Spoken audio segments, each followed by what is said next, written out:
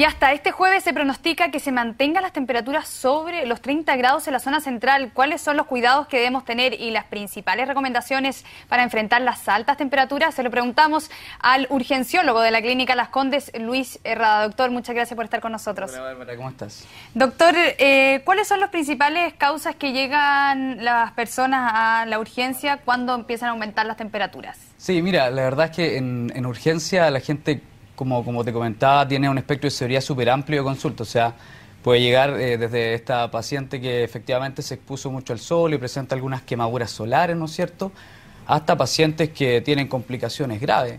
Es decir, pacientes que han estado realmente expuestos a calor por muchas horas y eso se da en su mayor grado en pacientes, por ejemplo, adultos mayores o niños muy pequeños.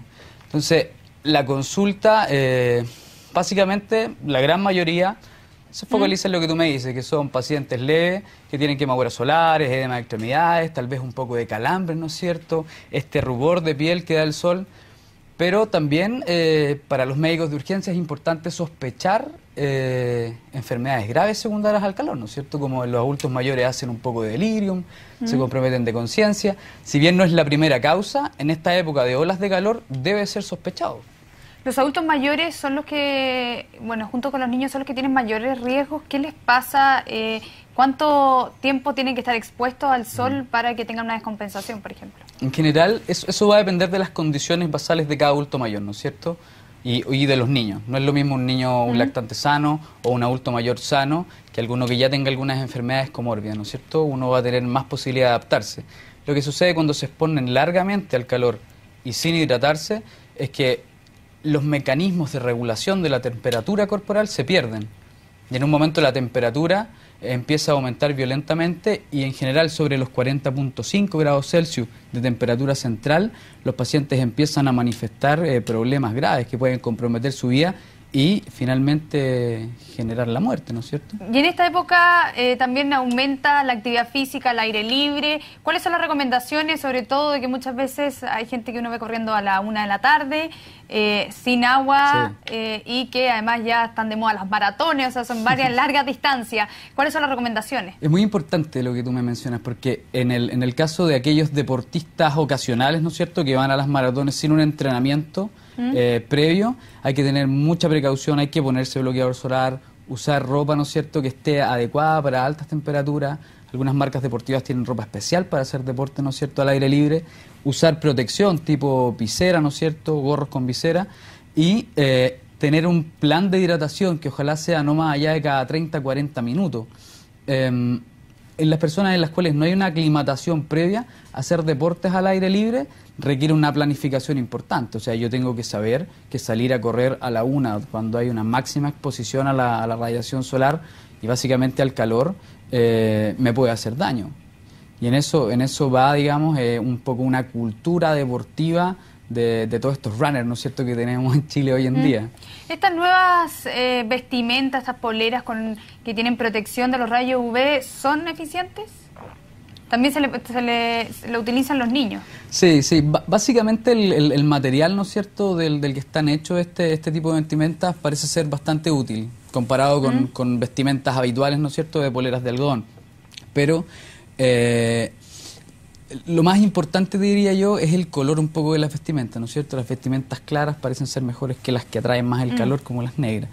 Y yo, yo, te diría que no pondría el foco solo en la vestimenta, sino que pondría el foco un poco en lo previo, en hidratarse, e, echarse bloqueador y cubrirse el bloqueador, ¿cómo se debe usar? Y idealmente no hacer deporte en esa, en esa hora, digamos. ¿Entre qué hora y qué hora? Entre las 11 y las 4 de la tarde, que es el periodo peak de, de sol, idealmente no exponerse al sol a hacer deporte de, alto rendimiento a esa hora, no tiene ningún sentido. Hay que empezar a madrugar. claro, o te levantas muy temprano o lo haces ya más bien en la tarde, tarde-noche, de manera que no estés expuesto eh, a este calor extremo que puede generar problemas básicamente y, y lo ideal es no hacerlo. Le preguntaba también por el bloqueador, ¿cómo se debe usar? Muchos dicen hay que eh, ponérselo media hora antes de, exponerse al sol. Eh, los, por ejemplo, los grados, eh, factor 50 es lo mínimo, el 30 es lo mismo. Sí, mira, esa es una pregunta un poco más para dermatóloga. Yo te, te, puedo responder por lo que sé que básicamente deben ser factores sobre 50, sobre todo si nos vamos a exponer directamente al sol. Y claro, puede ser ocupado unos 30 minutos antes de, exponerse. Ahora, eh, esa pregunta mm. se la dejo a mis colegas dermatólogos que son un poquito más entendidos en ese tema. Y respecto a las quemaduras, eh, doctor, em, ¿cuánto puede influir, por ejemplo, eh, si hay una, una persona tiene una insolación, mm. cuánto influye en la piel? Eh, bueno, siempre están los síntomas de fiebre, deshidratación. Llegan esos casos, me imagino, a urgencia y cuáles son las consecuencias. Claro, en general una quemadura, una quemadura de piel por insolación está categorizada entre las quemaduras que son más leves, ¿no es cierto? Mm. Ahora siempre hay que evaluar la gran extensión de la quemadura y lo que hacemos básicamente ahí es hidratar, es manejar muchas veces el dolor de los pacientes. Los pacientes que sufren estas quemaduras a veces vienen con, mucho dolor, sobre todo esta gente que tiene la piel tremendamente eh, pálida y, para broncearse se expone tremendamente el sol. Eh, le manejamos básicamente la, temperatura, o sea, perdón, la, el dolor y, y lo hidratamos muy bien.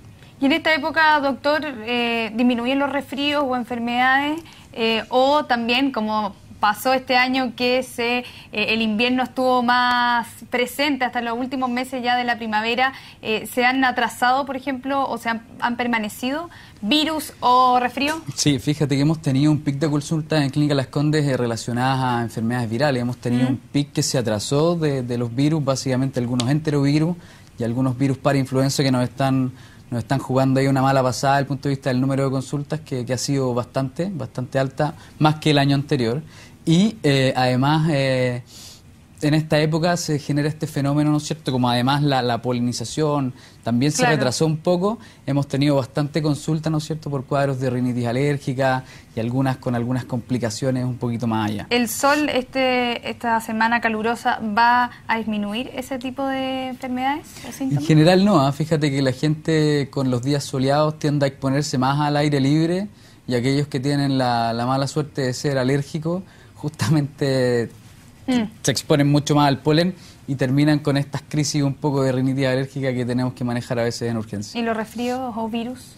Los virus en general tienen una estacionalidad que se mantiene. ¿eh? Yo te digo ahora que estos virus para influenza efectivamente generaron un poquito más de cuadros de resfrío y algunos mm. influenza B que se quedaron por ahí retrasados y que, y que consultaron más estas semanas a urgencia, pero yo te diría que ya es algo que va en decaída y empiezan a aparecer las enfermedades más de verano, ¿no es cierto?, que son básicamente cuadros gastrointestinales diarreicos. Perfecto, doctor Villarrada, muchas gracias por haber conversado con pues. nosotros. Cuídate. Hasta pronto.